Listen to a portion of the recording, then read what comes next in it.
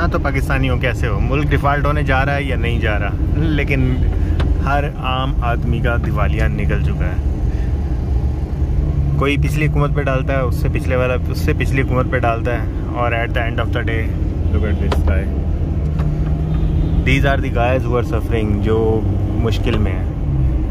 तो इसी वाले से एक मैं अभी आर्टिकल पढ़ रहा था, लेकिन उसमें, उससे पहले एक छोटी सी बात कि अमेरिका में अभी हाल ही में दो बैंक करप्ट हुए हैं। ठीक है? और अमेरिका का कर्जा देखा जाए तो वो भी अच्छा खासा है। एक सिलिकॉन वैली बैंक था जिसके जो डिपॉजिटर्स थे, वो एकदम अचानक सारे के सारे लोग पहुँच गए और वो सारे अपने डिपॉजिट्स वापस निकालने पे मजबूर हो गए।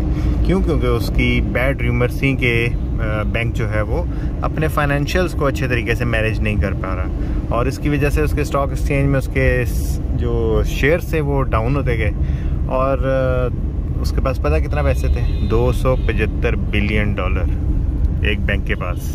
तो दो सौ पचहत्तर बिलियन डॉलर के एहसास से जब उन्होंने बैंक के लिए वापस निकलवाने आए सारे के सारे कस्टमर्स तो अल्टीमेटली बैंक के लिए तो ये अच्छी न्यूज़ नहीं है। और बैंक ने तो डिफ़ॉल्ट करना ही था।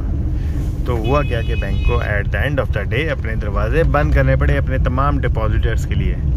अच्छा गुड पार्ट ये कि यार अमेरिका में क्योंकि रूल ऑफ़ लॉ है और not like in our country तो वहाँ पर जो कंज्यूमर है वो ढाई लाख डॉलर तक इंश्योर्ड होता है। बहुत सारे लोग इससे भी ज़्यादा जो है वो उनके पैसे थे इससे पास बैंक के पास, लेकिन स्टिल ढाई लाख डॉलर भी अगर रिकवर हो जाए तो इट्स ह्यूज अमाउंट और साथ साथ जो है वो, बाकी पैसे भी आई होप कि जो अखबारी न्यूज़ है, उसके मुताबिक यही है कि government and insurance companies will support लेकिन क्या बैंक को भी सपोर्ट करेगी?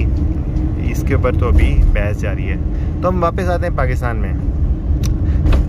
तो पाकिस्तान में तो चार अरब डॉलर और उसके ऊपर भी मसला बना हुआ है। शुक्र करें वो वहीं रुक गए, वरना जिस स्पीड से नीचे जा रहे थे, तीन होने थे, दो होने थे और अल्लाह माफ़ करें। So let's see let's pray for our country.